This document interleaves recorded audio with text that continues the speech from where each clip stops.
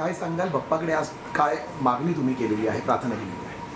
खरं तर अ, सगळ्या व्ह्युअर्सना मी गणेश चतुर्थीच्या मनापासूनच्या शुभेच्छा देईन. माझ्या घरीही दीड दिवसाचा गणपती आहे.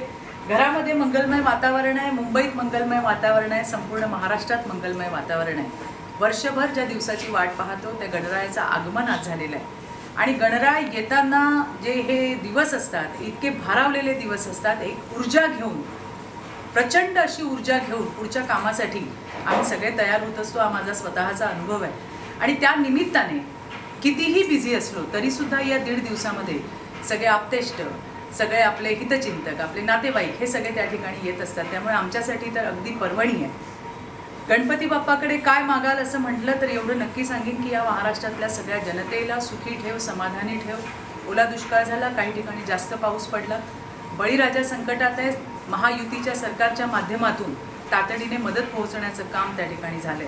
या राज्यातल्या प्रत्येक घटकाचा विकास साधायचं काम हे महायुतीच्या सरकारच्या माध्यमातून झालंय. आणि मला जर विचाराल तर भारतीय जनता पार्टीची एक कार्यकर्ता असल्याने मला अगदी निश्चित असं वाटते की एक विजन असणारा नेता आमच्याकडे आहे. नाव देवेंद्रजी फडणवीस हे महाराष्ट्राचे उपमुख्यमंत्री आहेत. आणि त्यामुळे आज त्यांच्या नेतृत्वामध्ये आपण पाहतोय की प्रगतीमध्ये महाराष्ट्राने एक नंबर गाठलाय. जे इन्फ्रास्ट्रक्चर आपण उभारताना आपण दिसतोय. युवकांसाठी असेल महिलांसाठी असेल दिव्यांगांसाठी असेल असा कुठला घटक नाही. ज्येष्ठ नागरिक असतील असा कुठला घटक नाही. जातीपातीच्या पलीकडे जाऊन विकासाचं राजकारण करणारा आमचे आमचा नेता ज्याचं नाव देवेंद्रजी फडणवीस आहे. गणरायाकडे हात जोडून प्रार्थना आहे की या वेळेला विधानसभेच्या इलेक्शनमध्ये भारतीय जनता पार्टीच्या अधिकाधिक जागा निवडून येऊ द्या आणि पुन्हा एकदा आमचे नेते देवेंद्रजी फडणवीस यांना मुख्यमंत्री पदावर बसून त्या ठिकाणी काम करताना बघण्याची संधी गणरायाने आम्हाला द्यावी ही मीच नाही समस्त महाराष्ट्रातील भाजप परिवाराची इच्छा आहे. आणि हीच इच्छा मी आणि माझ्या परिवाराने सुद्धा गणरायाकडे मागितली.